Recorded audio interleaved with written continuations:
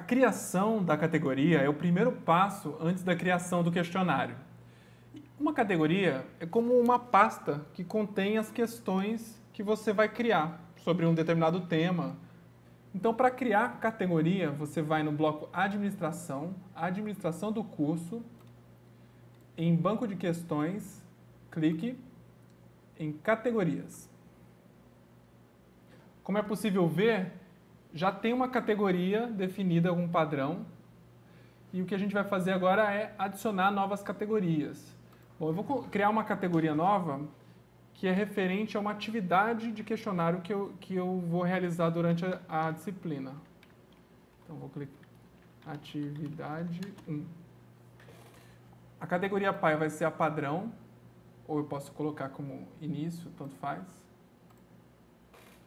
Pronto, está criado. Posso criar também uma para prova.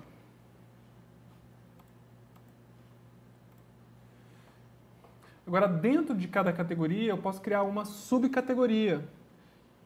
Isso vai ajudar a organizar melhor as questões que eu for criar e também vai possibilitar que eu selecione uma quantidade específica de questões e gere aleatoriamente durante a aplicação do questionário. Vamos colocar, por exemplo, tema 1, dentro de atividade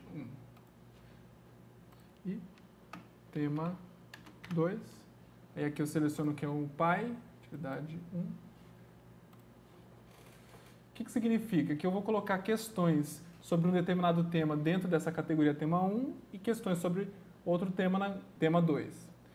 Caso queira deletar ou mudar a posição da categoria, eu posso utilizar esses ícones aqui ao lado da categoria. Então não deixe de criar categorias, pois elas facilitam a organização das suas perguntas e também agilizam na realização de sorteios automáticos, caso você deseje. Grande abraço!